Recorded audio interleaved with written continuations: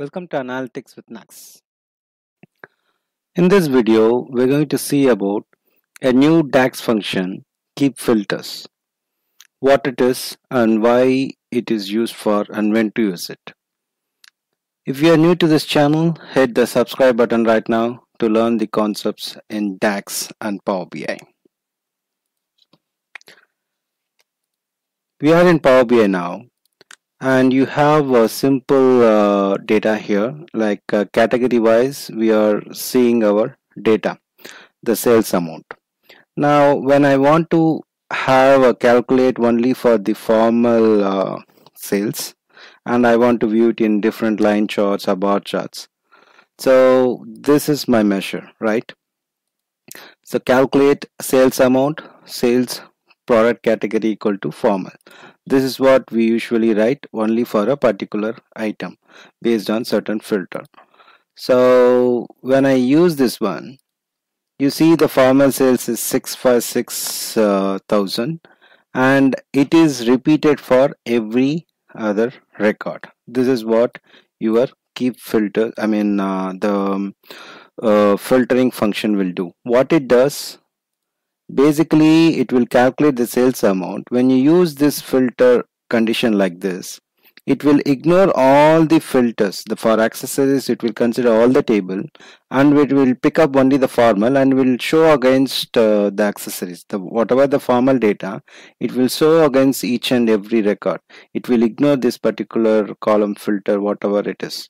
Only for this particular uh, row it will match and the data is matching but in some cases, I do not want wish to see this data uh, if it is not matching, right? For accessories, it should not show the formal sales. It should behave as blank okay in such cases you can use keep filters okay and uh, more or less uh, whether you use it or not if you use the accessories filter this will again show 656 thousand only basically keep filters will give more uh, i mean performance wise it will be more good. That is why you need to go for it instead of uh, using the um, just a filter like this. What you need to do?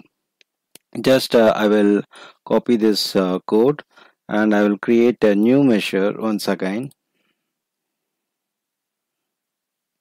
So i will rename it as keep filters kf and it is nothing but just wrap it around. Whatever filters you used just wrap it as keep filters okay?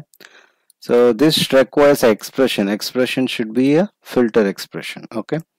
Then you close it. So now what happens? Let us see this data. Okay now you see like uh, the new measure we have created the formal sales keep filters. That is evaluated like how it is evaluated. Uh, let us see this measure and uh, see the data. Now for accessories it will say like uh, product category equal to formal. So it is keeping the filter for this column okay? Accessories is not equal to formal so it becomes false then doesn't return anything. So for casual wear it is again it is false. For formal it is true. So it will keep the filters applied in this particular column whatever uh, column you are keeping it that filters is retained.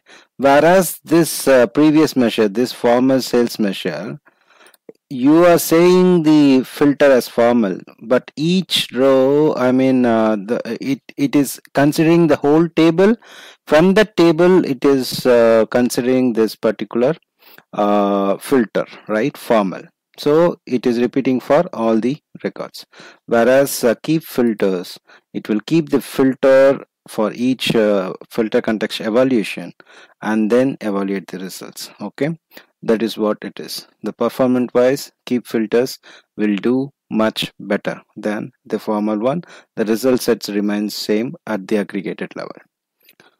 If you guys like this video share and subscribe to the channel and do remember that data is your asset